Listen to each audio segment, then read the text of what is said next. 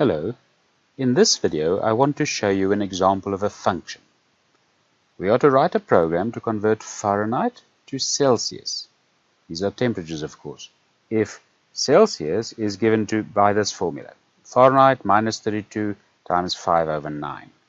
Now let's have a look at how I did this using a function. So I have two variables, f and c, f for Fahrenheit and c for Celsius. And f is equal to string to int. So I get f from the text box, that one over there. Now, c is equal to f convert to c of f. So this is my function. I've written a function that will do that whole big long calculation on its own and return the result in the name of the function. So let's go and look at how we did that. I scrolled up a little bit here's my function. You type your own functions in this way. So we do it before the procedure that will be calling the function. So anywhere earlier, well not anywhere, below implementation as well. So I write function, the name of the function, and then in brackets, any parameters that go into the function. And I only want parameters coming in. I don't want parameters going out of the function. So function, the word function, the name of the function, any parameters that must come in, and then a colon and the data type of the function. Now, because this function is going to calculate a real number, my f convert to c has to be a real value.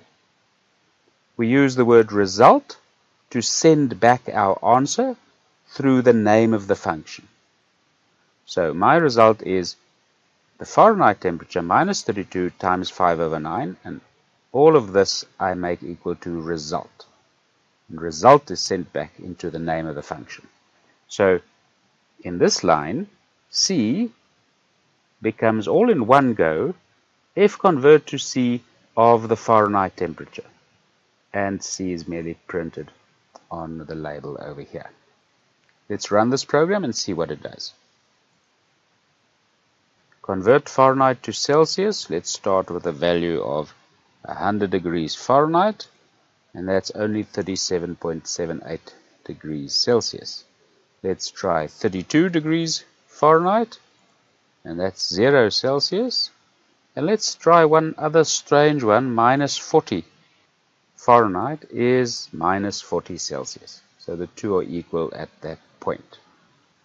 I also want to execute this program line by line. So let's press F7 and step through it so that you can see what exactly happens to the function. So I click on my button. The first line is to read in the value from the text box. I've already entered the value there of 32, I think it was. And now it calls the function. So if I press F7, it should hop up here. And it does. The result becomes equal to this calculation, and then it hops back down here where it uses the value now stored in C.